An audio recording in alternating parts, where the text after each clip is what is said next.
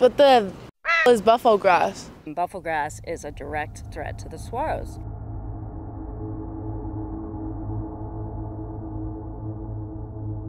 Buffalo grass is a threat not only to our natural environment, but then also to our own human health and safety within the urban environment.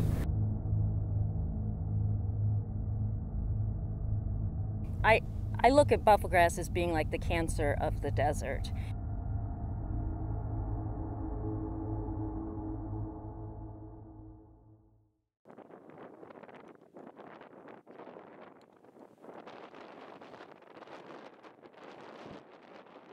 So buffelgrass was brought here about the 1930s for um, primarily cattle forage and for stabilization of the soils. Wait, go back. You mean to tell me that somebody thought it was a good idea to bring grass in for cattle? I bet that worked out real great. Uh, it's proven to be only marginally good at either one of those things over many years, and unfortunately, in the meantime, has spread throughout our community uh, along roadsides, out into open desert, into our alleyways and washes, basically all over the place. Buffelgrass has total disregard for personal space. It sees open space, it takes over that open space, it pushes out the native species, and it suffocates them until they're dead. So we first um, acknowledged or knew about buffelgrass being in the park in about 1989.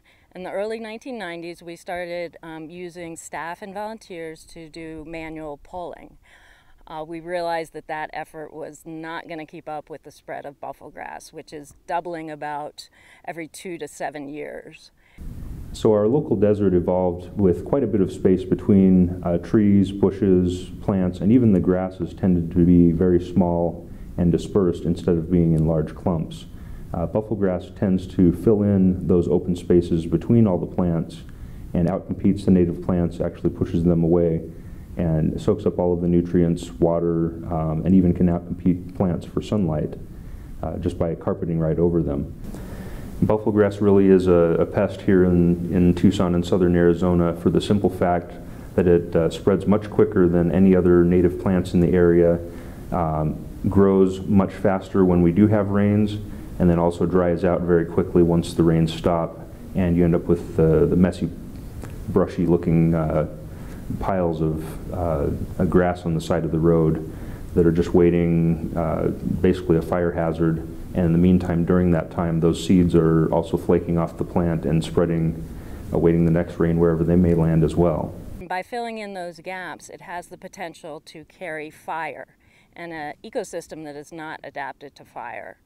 And so it's bad for those two reasons. So the threat of fire and the competition it poses to our, our native plants. Buffelgrass not only affects plant species, but has also become a huge problem when it comes to fires. It provides fuel for fires. It allows fires to spread extremely quickly, reaching temperatures that are hot enough to melt metal and kill anything in its path. So one of the challenges is that uh, it potentially can be quite a fire hazard from the lower desert all the way up uh, into the foothills where it could uh, bring fire either down from the mountains or um, a fire that was begun in the lowlands could potentially go all the way up the mountain as well. If there is a fire, then the native plants do not respond to fire.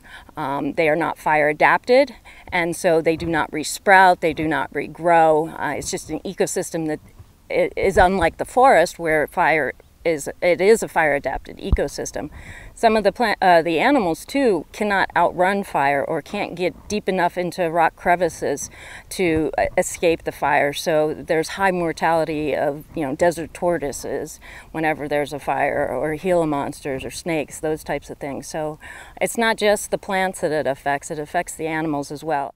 Uh, with the the dense buffelgrass clumps growing across wider and wider areas over time. Uh, it, the fires do spread much more quickly, uh, can burn at temperatures up to 1400 degrees, so that can melt metal and burn just about everything else.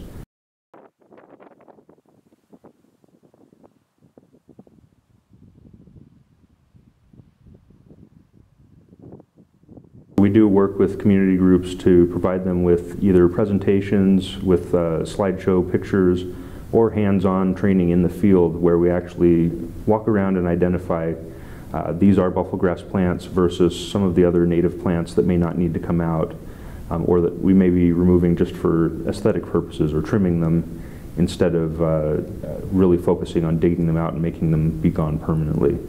Of it. It has the very rough uh, pieces where the, the seeds have come off. You can also see one of them that still has the seeds still on that. There's also a reddish tinge to the, uh, some of the stalks of the plant, which is a telltale sign of that. You'll also see sometimes um, right at the base of the, where the grass blades come off the main stem, a uh, small translucent hair. Many volunteer programs have been created throughout Tucson to fight the spread of buffelgrass. So Tucson Clean and Beautiful is working in partnership with Pima Association of Governments, the City of Tucson, Pima County, and a host of other community partners on the annual Beat Back Buffelgrass Day that is coming up in uh, January 2017. That event is intended to draw attention from the community to the fact that buffelgrass is a threat not only to our natural environment but then also to our own human health and safety within the urban environment. And we work with the community to identify where buffelgrass is at, teach people how to identify that within their own neighborhood, uh, work with uh, hands-on volunteer projects so that they can actually remove buffelgrass that is in their area, and then keep an eye on monitoring the area over the longer term to be sure that it stays gone. Volunteer efforts are fabulous, um, and we have a couple volunteer programs here at the park that um, we continue to use along with our herbicide program. And uh, we do have a second Saturday pull over here at the Rincon Mountain District. Um, and occasionally we have other um, volunteer effort polls like Public Lands Day or Beat Back Buffelgrass Day, and we do those over at the Tucson Mountain District. There are volunteer pulls of buffelgrass all over Tucson, so if you ever want to really know what buffelgrass looks like, I suggest that you go out on a volunteer pull. Although the removal of buffelgrass is a daunting task, many stay positive in the hope that one day there will be a future without buffelgrass.